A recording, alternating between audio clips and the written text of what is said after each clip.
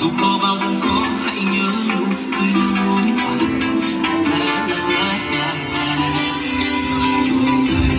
thế giới vẫn quay tuổi thanh xuân như gió như mây.